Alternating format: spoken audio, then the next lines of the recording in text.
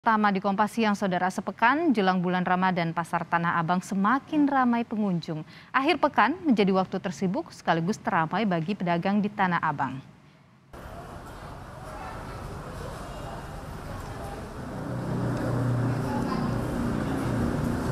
Penurunan level PPKM di DKI Jakarta disertai dengan diperbolehkannya mudik lebaran tahun ini menjadi alasan pasar Tanah Abang didatangi pengunjung.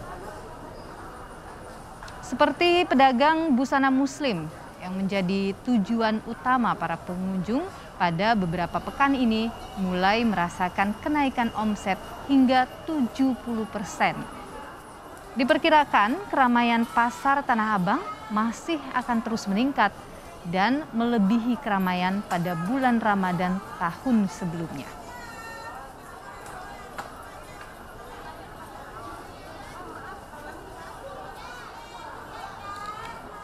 Saudara, bagaimana situasi di Pasar Tanah Abang Jakarta Pusat sepekan menjelang Ramadan ini? Kita tanyakan pada jurnalis Kompas TV yang saat ini berada di sana ada Triksi Valencia. Triksi, selamat siang.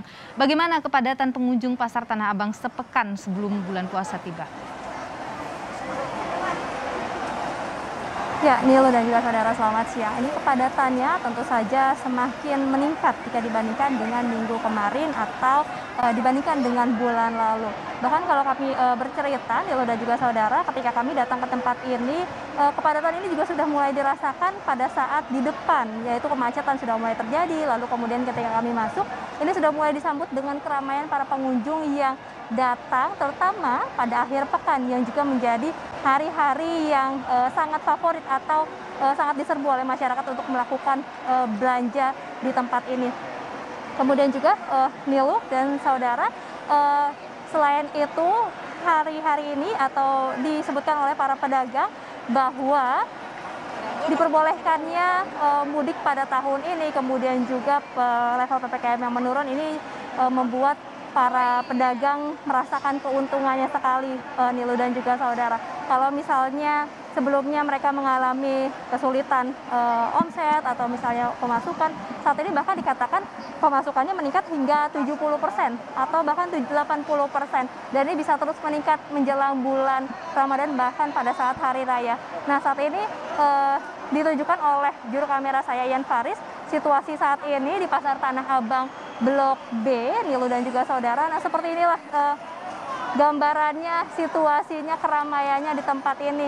Kalau misalnya bisa dilihat di layar kaca Anda, pengunjung yang datang ini beragam sekali dari eh, lansia, kemudian juga anak muda, bahkan sampai eh, anak-anak yang dibawa oleh orang tuanya ke tempat ini.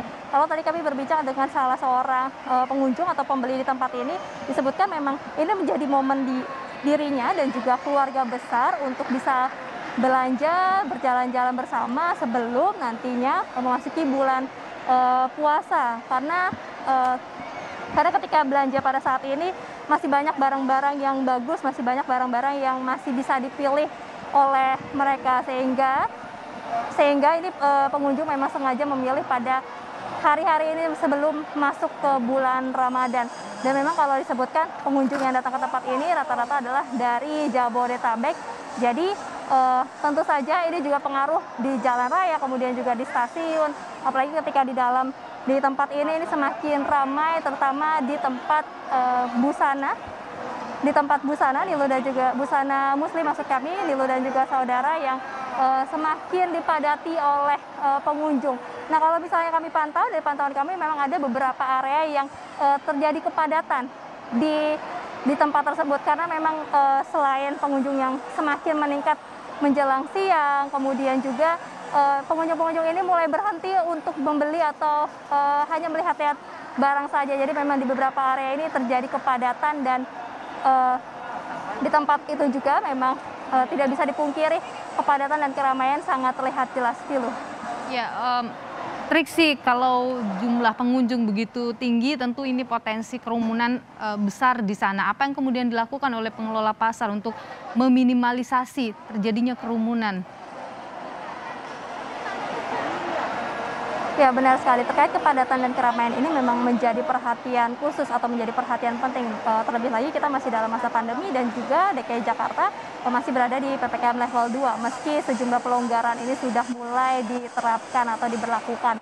Nah, berbicara tentang kapasitas uh, mengikuti aturan dari PPKM level 2 ini maksimal adalah 75 persen.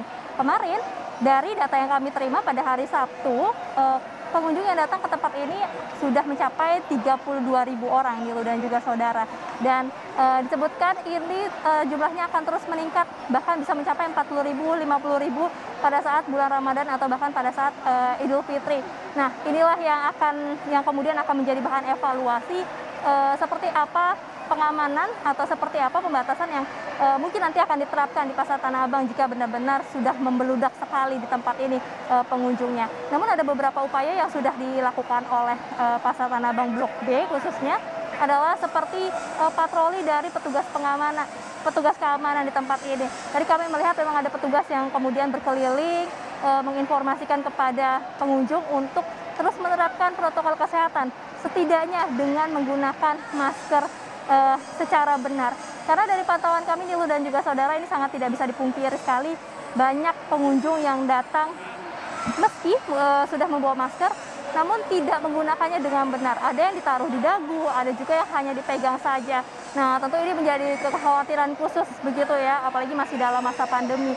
Dan disebutkan juga memang petugas cukup kewalahan untuk mengingatkan dan juga e, mengimbau masyarakat untuk terus menerapkan protokol kesehatan karena jumlahnya pun yang e, berbanding terbalik tidak sebanding dengan e, keramaian yang ada di tempat ini. Lalu selain itu juga e, disebutkan bahwa nantinya pada saat bulan Ramadan atau pada saat menjelang e, hari raya ini biasanya setiap tahun akan ada tim gabungan yang datang untuk membantu bukan hanya pengawasan di depan saja di area kemacetan, tapi juga membantu pengawasan di dalam pasar Tanah Abang ini, seperti petugas dari uh, TNI Polri dan juga Satpol PP ini nantinya di, diperkirakan akan datang atau akan diturunkan pada saat uh, sudah memasuki bulan Ramadan. Nilu. Triksi Valencia, jurnalis Kompas TV. Terima kasih atas informasi Anda langsung dari Pasar Tanah Abang, Jakarta.